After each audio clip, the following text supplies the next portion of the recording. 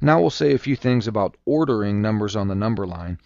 And there's a number line here. You see it on the screen and on your page. And it's typically drawn like you see it here with smaller numbers to the left and larger numbers to the right.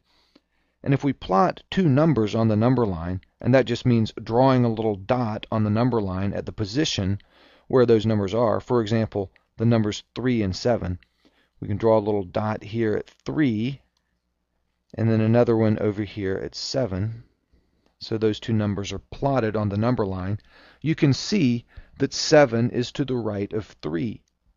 What that means is this. 7 is greater than 3. It's a bigger number than 3, a larger number. And 3 is to the left of 7. That means 3 is less than 7 because smaller numbers are to the left. So if 3 is to the left of 7, then it's less than 7. And those two ideas can be written with a mathematical notation. I can say 7 is greater than 3 and write it like that. Or I can say 3 is less than 7 and I would write it like that. And these little symbols mean greater than and less than. And you should know those symbols. And the direction that this little thing points matters. It always points toward the smaller number. So when it's pointing to the right, it's a greater than symbol. It's saying this one is greater than that one. When it's pointing to the left, like you see here, it's a less than symbol. Here it's saying this first one is less than the second one. Um, you can all, you can remember this by just remembering that it always points toward the smaller one. When I was in school, my math teacher told me a clever little way to remember it. Think of this thing as an alligator. Imagine that as an alligator's mouth. And the alligator's hungry. He wants to eat something. So he's going to go after the bigger number. So you see the mouth here, the alligator's mouth is opening toward the 7, like he's going to gobble up the 7. And same thing over here.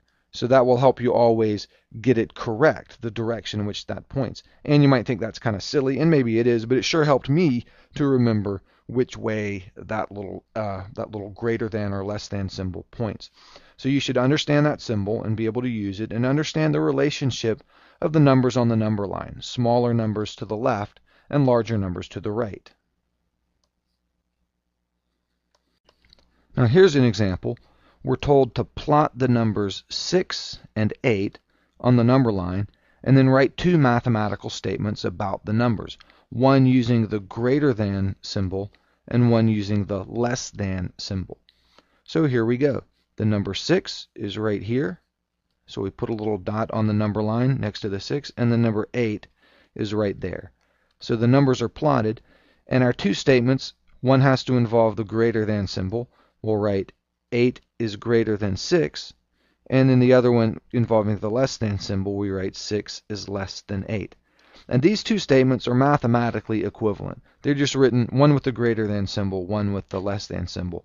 But those, those are basically the same statement. One of these statements doesn't give us any more information than the other. They mean the same thing.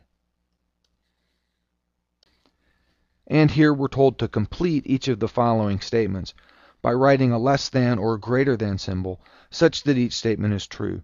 And this should be pretty easy. 4 is clearly less than 8.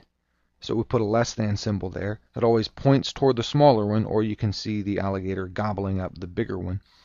Um, right below that, 75 and 57. 75 is greater than 57. On the number line, it's further to the right. 6,000 is greater than 5,000. And 0 is less than 4. And all of those should make sense. And we'll come back and do some more exercises like this when we talk about negative numbers and decimal numbers. But it's important to be able to understand these concepts and be able to put numbers in order and be aware of where they appear on a number line, with larger numbers always appearing further to the right.